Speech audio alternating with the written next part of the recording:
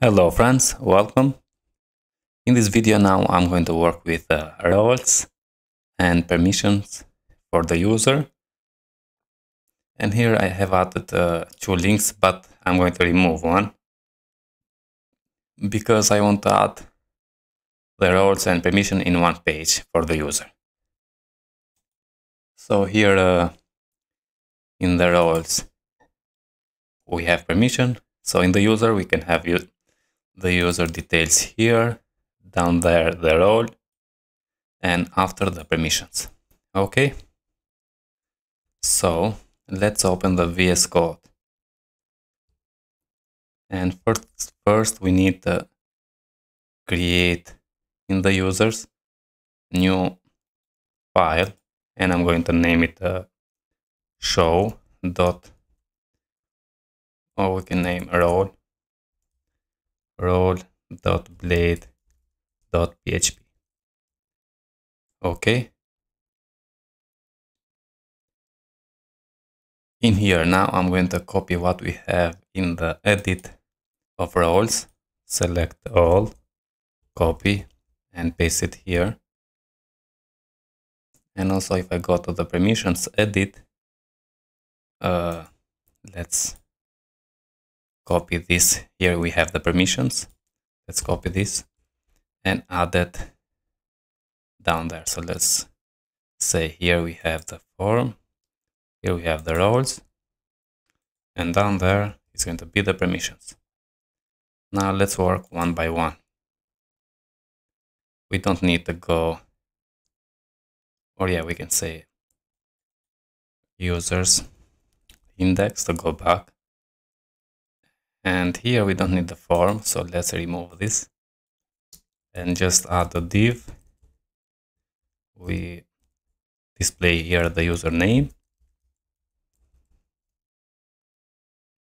And let's copy and duplicate this and display the email of the user and you can display what you want. After that uh, here now we have ro uh, roles first let add first the roles because here is the permissions and here is the roles. Yeah let's I'm going to cut and paste it right here the roles. Now here is the roles and not permission roles but we need to say uh, user roles. So user Okay, now uh, the route is going to be users roles remove. That's okay. Next one is going to be admin users roles and here we need the user ID. We need all the roles here. So, okay, that's it. Now work with permissions. Here is going to be permissions like this. Not role permissions but select all of them and say user permissions. Okay. Now the route is going to be admin user permissions revoke. Okay. Also here it's going to be user, users permissions and the user ID. Okay. Here we need to display all the permissions and I think we are okay with the uh, blade. Let's go to the web routes and create one by one the uh, routes. So first we need to create this users roles, remove and user roles. And uh, here we have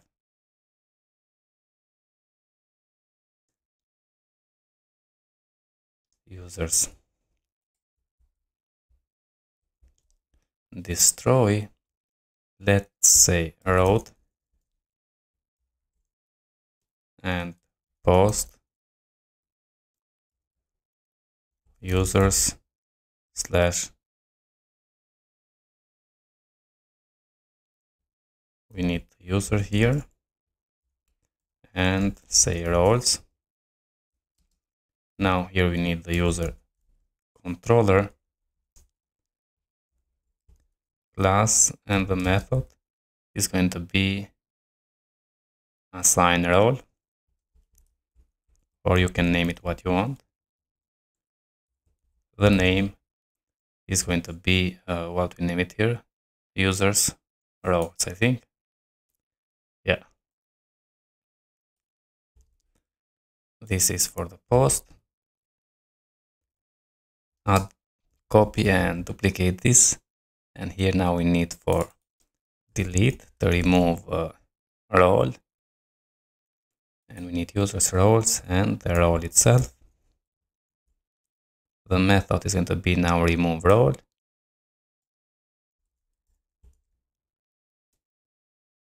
and the name is users roles remove.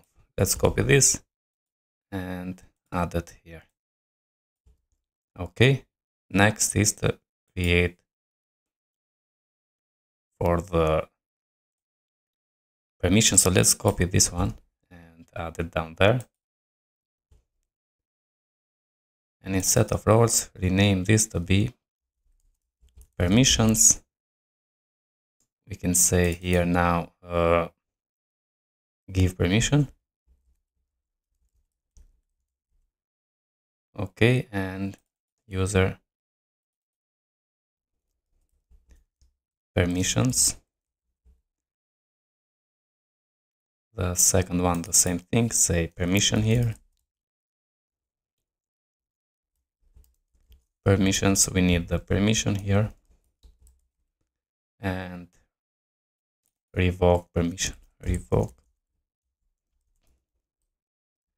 permission. And the name is going to be so where is the permission? Users permission another one is users permissions revoke. Let's copy this go to the web users permission revoke. Okay save this. And uh, now we have users index and users destroy but we don't have the users show. So let's create one. Route. Good. Because right now if I go to the users here if I click we need to go to the users show page or show the user and add assign roles and permission. So I'm going to say users slash and we need the user here. And uh, the controller is user controller. Class the method is going to be show. And also the name is going to be users dot show let's save this. Uh, let's open the users index. And uh, here when we have roles and permissions let's remove the permissions and say only roles there. And the anchor tag add the route to go to the users dot show and we need to add the user here dollar sign user id let's save come here and refresh, we have only roles. If I click here, now we don't have that show method in the user controller.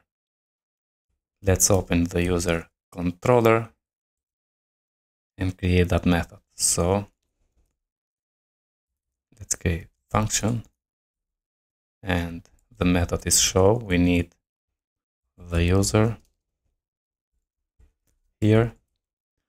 And we are going to return the role uh, blade. So in here we need the permissions and the all the permission and all the roles. Okay. So let's say here dollar sign roles is going to be with a role and import Spatie permissions models role all. And also the permissions is going to be permissions. Import the model from Spatie and say all and here and return the view which is uh, admin users role and say compact for user. So first I'm going to add the user the roles and the permissions. Let's save this and refresh. And yeah now here is the user details. Down there is the roles of this user has and the permissions. And uh, if I go here why? We added. Let's add this one and this. So the bg white. Uh, cut them and add it in here. Because I yeah now we are okay. And also change this a bit not role index but uh, users index. And I think we're okay. So here is the username and the user email. And let's say here user name something like this. And down there the user email. Just see more good here okay. Now when I click here and uh, assign a new user we need to assign a new role.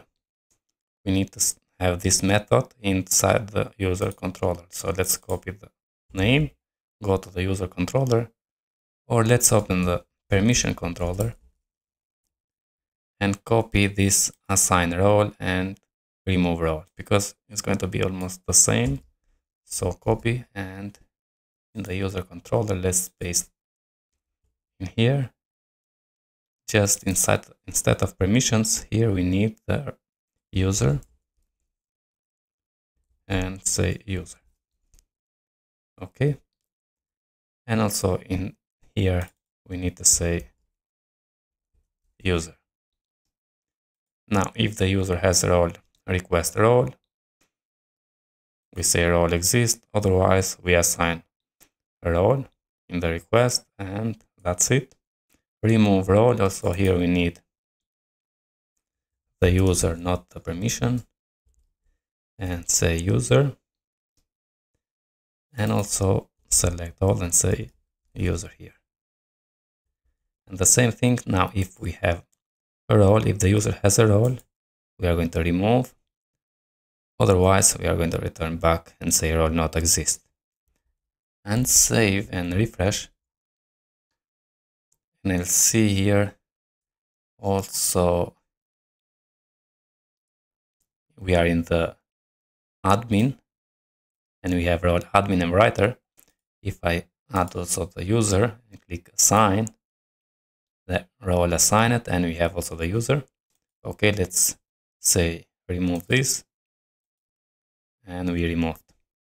Now let's work with permissions and I'm going to open the role controller and copy them the give permission and revoke permission here OK in the user controller, paste that in. And this is, this is because I have named in the web the same name. So here, assign role and the same thing in the permission. So assign role, okay? If you change the name here, make sure you updated the name. And now instead of the role, we need to say user here. and dollar sign user and change the user. Now, if the user has permission, we return back, otherwise we give permission. And the same thing here, now not role. Here we need the user and the user here. And also remove this and say user. So if the user has permission, we revoke that. Otherwise, we say permission does not exist. Let's save and check. Refresh. Now here we have edit and delete post. If I select delete post, assign, yeah, we see here a permission exists. And if I select edit post, and why is that? Permission exists. We don't see the permission here. But uh, if you go to the roles, so this user, admin user, has two roles, admin and writer. If I go to the role and say the writer here, this writer has edit and delete post permissions. If I remove them, okay, and go to the user, admin, and now if I select edit post, assign, we assign that. Okay, you see here, if we if the user has the role and the role has that permission, is not going to assign here because the user has already that permission. So only if the, this role does not have the permission, you can assign them. So also the, assign the delete. And if I delete, I revoke that, click OK, and we revoked. Okay, friends, uh, that's it. Uh, hope you enjoy.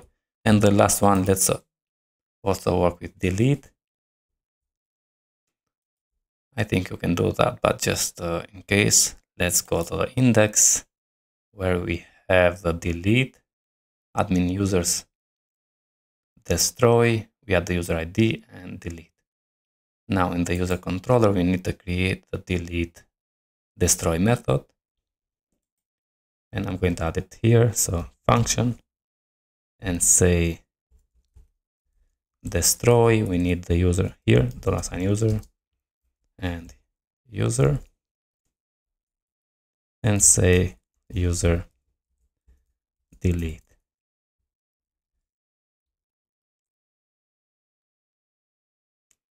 and return back. So, or first I'm going to check if, if the user is admin, if dollar sign user has role and the role is name admin. I'm not, I'm going to return back direct.